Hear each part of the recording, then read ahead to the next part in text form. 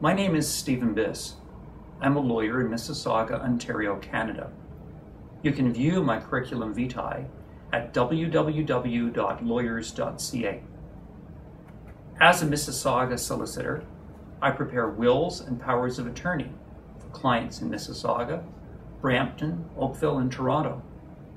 More information about wills and estates can be found at www.wills-estates.com. As a Brampton Youth Court lawyer, I represent children, juveniles, and young persons charged with criminal offenses and Education Act, truancy, suspension, and expulsion allegations. More information about the Young Offenders Act and the Youth Criminal Justice Act, including juvenile sentencing, can be found at www.defensecounsel.com. My young offenders law practice includes youth courts in Hamilton, Kitchener, Milton, Orangeville, Newmarket, and Toronto. My YouTube channel contains technical videos of breathalyzers and Intoxilyzers used by police in impaired driving offenses and over 80 offenses in the Greater Toronto Area.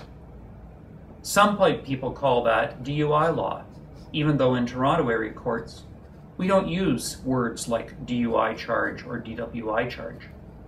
The correct name is over 80 charge or impaired driving charge.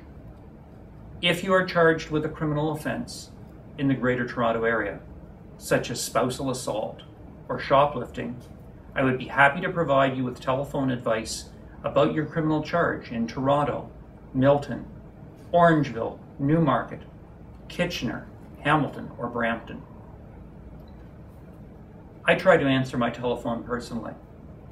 If police arrest you for a DUI in Mississauga and you want to phone a Mississauga DUI attorney, you can reach me at 905 273 3322 or 1 877 273 3322.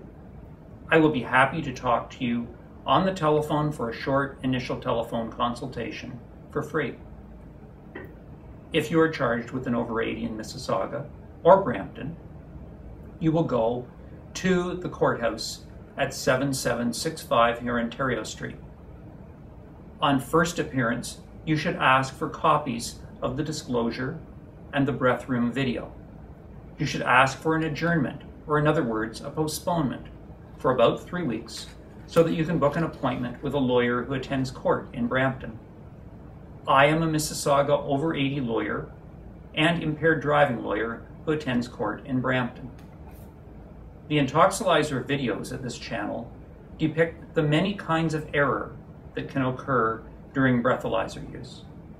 You will see DUI examples of mouth alcohol, bias that can exaggerate your blood alcohol concentration.